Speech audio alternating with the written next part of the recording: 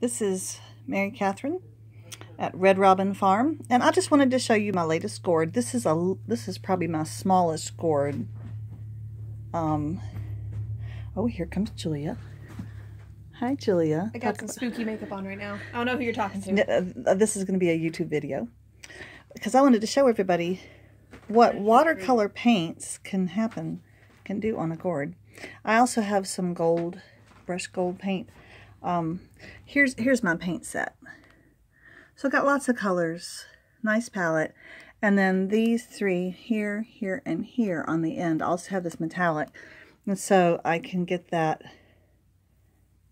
that kind of metallic look there. See those fun little streaks? I've also got them on the bottom. Um, but yeah, the color is all from the palette because when I start out, it looks like that.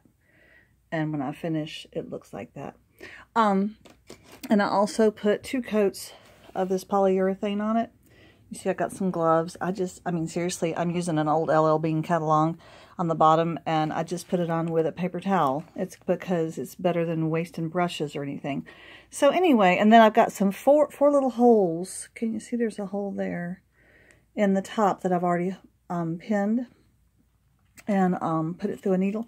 And I'll put a string on it so it can be hung. Maybe I'll show it to you later. Um, anyway, pretty fun. I'm fixing to put my second coat on. I just wanted to see you to see what could be done at home with gourds without any kind of hefty equipment and that kind of thing. See you later. Bye.